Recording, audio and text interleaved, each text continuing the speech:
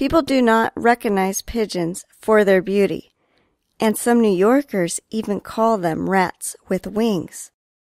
But one artist tried to change people's opinions.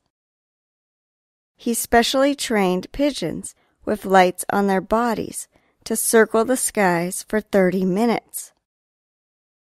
People turned up to watch the show, which will take place every weekend evening until June 12th in the Brooklyn Navy Yard in New York.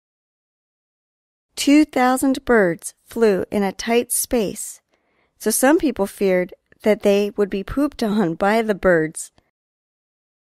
The artist explained that most animals do not poop while they are exercising, but when they are relaxed and sitting down.